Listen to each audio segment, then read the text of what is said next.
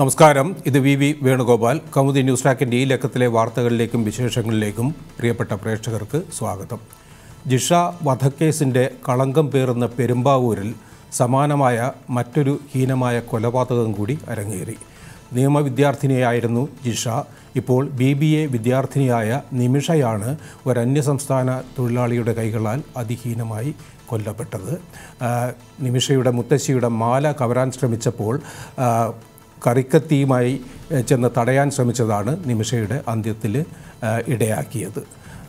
Advocate P S Sreedharan Pillai B J പിയുടെ സംസ്ഥാന അധ്യക്ഷനായി വീണ്ടും ഒരിക്കൽ കൂടി നിയമിതൻ ആയതും അതുപോലെ തന്നെ അസാമിൽ ദേശീയ പൗരത്വ പൗരത്വ രജിസ്റ്ററിൽ നിന്ന് നാൽപ്പത് ലക്ഷത്ത് ലക്ഷത്തോളം പേർ പുറത്താകുന്ന സ്ഥിതിവിശേഷവും ഇടുക്കിയിലെ അതിജാഗ്രതാ സ്ഥിതിയും എല്ലാമാണ് ഇന്ന് പത്രങ്ങളുടെ ഒന്നാം പേജിൽ ഇടം കിട്ടിയിട്ടുള്ള മറ്റ് വാർത്തകൾ. ഇവയുടെ എല്ലാം വിശദാംശങ്ങളിലേക്ക് കടക്കുന്നതിന് മുമ്പ് ഇന്നത്തെ മുഖ്യ വാർത്തകളുടെ തലക്കെട്ടുകളിലൂടെ നമുക്കൊന്ന് കണ്ണോടിക്കാം പെരുമ്പാവൂരിന് സമീപം വിദ്യാർത്ഥിനിയെ കഴുത്തറുത്തു കൊന്നു. അന്ന് ജിഷ ഇന്ന് ഇന്നലെ നിമിഷ എന്ന് കേരളാവധിയുടെ മുഖ്യ വാർത്താ തലക്കെട്ട്. മലയാള മനോരമ പൗരത്വ രജിസ്റ്റർ നീറിപ്പുകഞ്ഞ് അസം നാൽപ്പത് ലക്ഷം പേർ പുറത്ത് എന്നതാണ് മനോരമയുടെ മുഖ്യ വാർത്ത മാതൃഭൂമി സൈബർ ഗുണ്ടായുസം നേരിടാൻ സംസ്ഥാനത്ത് പ്രത്യേക സെൽ രൂപീകരിച്ച ആ ഒരു വിശേഷമാണ് മാതൃഭൂമിയുടെ ഇന്നത്തെ മുഖ്യ വാർത്ത. ഇടുക്കിയിൽ ഓറഞ്ച് അലർട്ട് പ്രഖ്യാപിച്ചതും പ്രാധാന്യത്തോടെ ഒന്നാം പേജിലുണ്ട്. ദേശാഭിമാനി അസം സംഘർഷാവസ്ഥയിൽ പൗരത്വ രജിസ്റ്ററിൽ നാൽപ്പത് ലക്ഷം പേർ ഇല്ല. ഒഴിവാക്കിയവരിൽ കൂടുതലും ബംഗാളി മുസ്ലിങ്ങൾ അന്തിമ പട്ടിക വന്നിട്ടില്ല എന്ന് ആഭ്യന്തരമന്ത്രി രാജ്നാഥ് സിംഗിന്റെ വിശദീകരണം ഇതെല്ലാം ചേർത്ത് ന്യൂഡൽഹിയിൽ നിയം പ്രശാന്താണ് റിപ്പോർട്ട് ചെയ്തിരിക്കുന്നത്. ഇടുക്കി ജലനിരപ്പ് രണ്ടായിരത്തി മുന്നൂറ്റി തൊണ്ണൂറ്റി അഞ്ച് അടി ഓറഞ്ച് അലർട്ട് എന്ന വാർത്തയും ഇതര സംസ്ഥാന തൊഴിലാളി പിടിയിൽ പട്ടാപ്പകൽ വിദ്യാർത്ഥിനിയെ കഴുത്തറുത്ത് വന്ന സംഭവവും എല്ലാം ഒന്നാം പേജിൽ.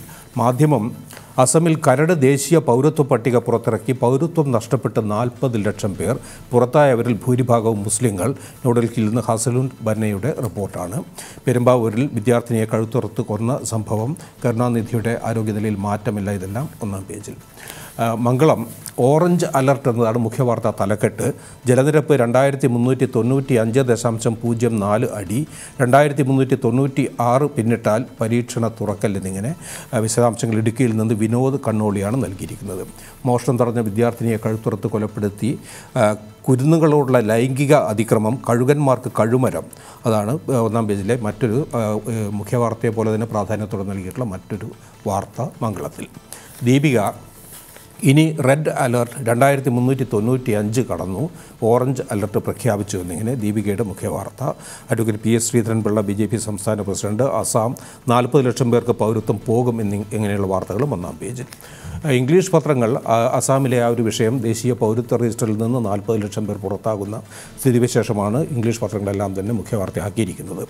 Over forty lakh left out of draft N R C in Assam People whose names are missing have till September 28 to file claims. State remains calm and no incidents of violence have been reported. Issue rocks parliament. Mamata Banerjee alleges vote bank politics എന്നിങ്ങനെ ഹൈലൈറ്റുകളും the Times of India forty lakh in Assam labelled illegals in massive supreme court monitored drill election commission to decide on voting rights says registrar general The New Indian Express 40 lakh fewer citizens in Assam's draft register. Those left out can file appeal.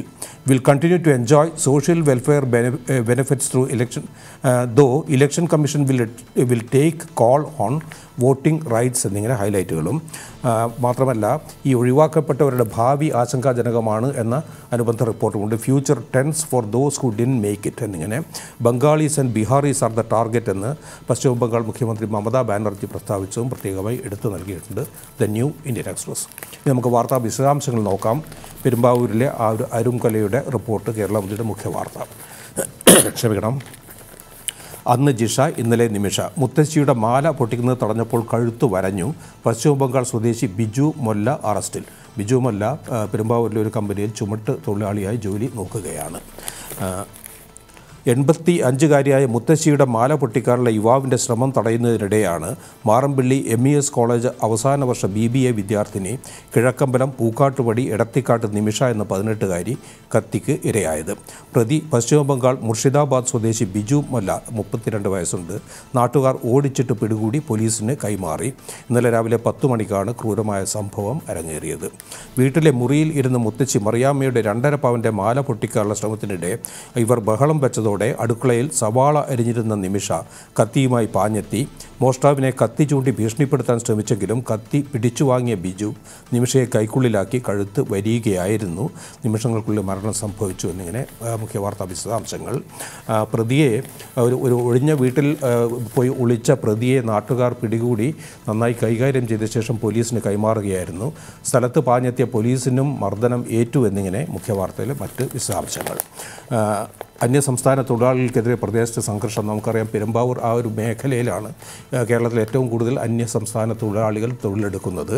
അവിടെ അന്യസംസ്ഥാന ഈ തൊഴിലാളികളായ രണ്ടുപേരാണ് ഇങ്ങനെയുള്ള ഹീനകൃത്യങ്ങൾ പ്രതികളായത്. അത് മൊത്തത്തിൽ അന്യസംസ്ഥാന തൊഴിലാളികൾക്ക് തന്നെ ജീവന് ഭീഷണിയാവുന്ന സ്ഥിതിവിശേഷമാണ് ഉണ്ടായിരിക്കുന്നത്. അല്ലെങ്കിൽ അവിടെ ജോലി തുടരാനുള്ള സ്ഥിതി സ്ഥിതിക്ക് ഭംഗം വരുന്ന സ്ഥിതിവിശേഷത്തിലേക്കാണ് കാര്യങ്ങൾ എത്തിക്കുന്നത് എന്നിങ്ങനെയുള്ള സൂചനകൾ. ബിജു ചുമട്ട് തൊഴിലാളിയാണ് എന്നിങ്ങനെയുള്ള അനുബന്ധ റിപ്പോർട്ടുകളുണ്ട്. കൂടെ ഭീതി മാറാതെ മുത്തശ്ശിയായ മറിയാമ്മ അവരുടെ ചിത്രവും എൻ ആർ സുധർമ്മദാസിന്റെ ശ്രദ്ധേയമായൊരു ചിത്രവും മുഖ്യവാർത്തയോടൊപ്പമുണ്ട്.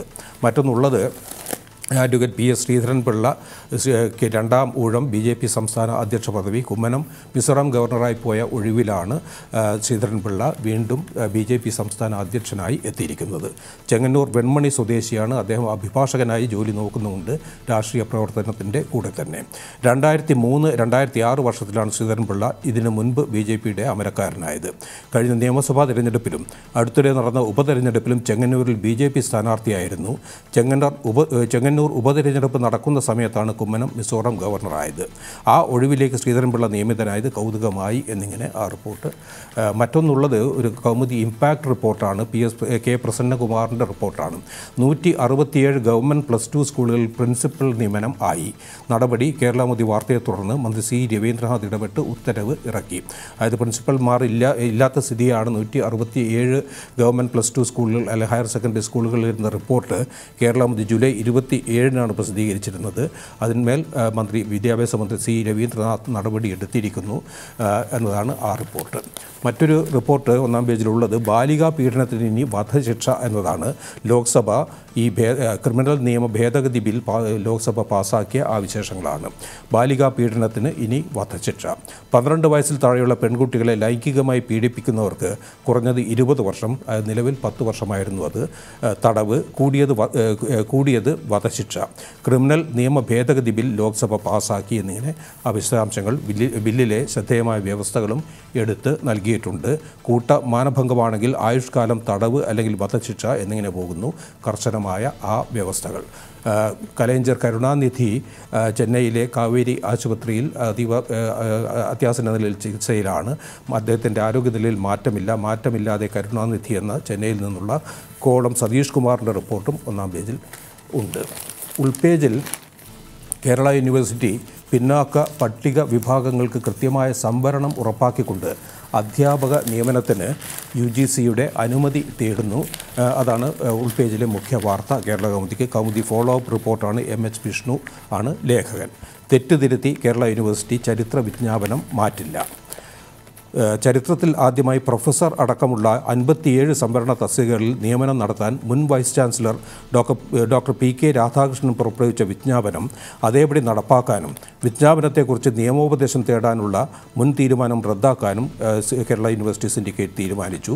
വിജ്ഞാപനം അട്ടിമറിക്കാൻ ശ്രമിക്കുന്നതായി ചൂണ്ടിക്കാട്ടി കേരള മോദി പ്രസിദ്ധീകരിച്ച റിപ്പോർട്ടുകളെ തുടർന്നാണ് നടപടി എന്നിങ്ങനെ ആ വിശദാംശങ്ങൾ. മറ്റൊന്ന് കൊച്ചിയിൽ അഞ്ചര വയസ്സുകാരി സ്കൂട്ടർ ഓടിച്ചു അച്ഛന് ലൈസൻസ് പോയി എന്ന റിപ്പോർട്ടും. ഏഹ് ഒപ്പം ഉണ്ട്.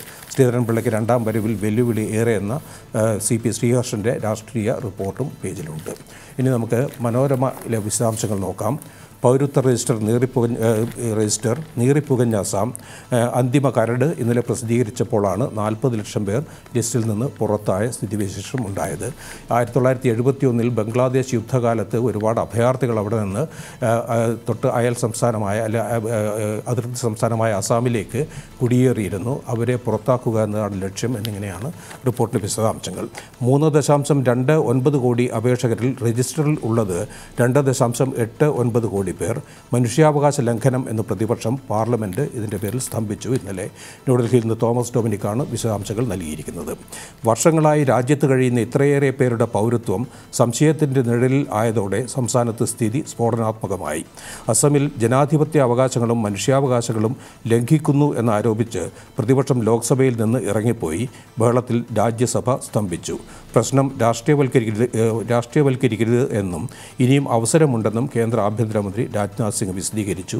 രജിസ്റ്ററുമായി ബന്ധപ്പെട്ട തിരുത്തലുകളും എതിർപ്പും അറിയിക്കാൻ ഓഗസ്റ്റ് മുപ്പത് മുതൽ ഒരു മാസം നൽകും എന്നാണ് ആഭ്യന്തര മന്ത്രാലയത്തിന്റെ അറിയിപ്പ്. ആവശ്യമെങ്കിൽ സമയപരിധി ഒക്ടോബർ മുപ്പത് വരെ നീട്ടും എന്നിങ്ങനെ ആ വിശദാംശങ്ങൾ പൗരത്വ രജിസ്റ്റർ തുടക്കം ആയിരത്തി തൊള്ളായിരത്തി അൻപത്തി ഒന്നിലാണ് അസാമിലെ എല്ലാ പൗരന്മാരെയും ഉൾപ്പെടുത്തിക്കൊണ്ടുള്ള ആ രജിസ്റ്റർ തയ്യാറാക്കാനുള്ള സംവിധാനം. ഇപ്പോൾ സുപ്രീം കോടതിയുടെ നിർദ്ദേശപ്രകാരമാണ് രജിസ്റ്റർ പുതുക്കാനുള്ള നടപടികൾ നീങ്ങുന്നത്. ഇതിന്റെ കൂടെ തന്നെ മമതാ ബാനർജി ബംഗാൾ മുഖ്യമന്ത്രി മമന മമതാ ബാനർജിയുടെ പ്രതികരണം എടുത്തു നൽകിയിട്ടുണ്ട്. ഇന്ത്യൻ പൗരന്മാർ സ്വന്തം രാജ്യത്ത് അഭയാർത്ഥികളായി മാറിയിരിക്കുന്നു. ബംഗാളികളെയും ബീഹാറികളെയും അസമിൽ അസമിൽ പുറത്താക്കാനാണ് ശ്രമം. ഈ ഭിന്നി ഭിന്നിപ്പിച്ച് ഭരിക്കൽ തന്ത്രം രാജ്യത്തെ തകർക്കുമെന്നാണ് മമത പറയുന്നത്. അതിന് അസം മുൻ മുഖ്യമന്ത്രി പ്രഫുല്ലകുമാർ മഹന്തയുടെ പ്രതികരണം. ആയിരത്തി തൊള്ളായിരത്തി എഴുപത്തിയൊന്ന് മാർച്ച് ഇരുപത്തിനാലിന് ശേഷം വന്നവരെ കേന്ദ്ര സർക്കാർ അവരുടെ സ്വന്തം രാജ്യത്തേക്ക് നാടുകടത്തണം എന്നാണ്. മറ്റൊരു വാർത്ത മനോരമ ഒന്നാം പേര് നൽകിയിട്ടുള്ളത് മനോരമ ആരംഭിക്കുന്ന പുതിയ ഒരു പരമ്പര സംബന്ധിച്ചാണ്. ബാങ്കുകളുടെ പേരിൽ വ്യാജ ആപ്പ് വ്യക്തി വിവരങ്ങൾ പുറത്ത്.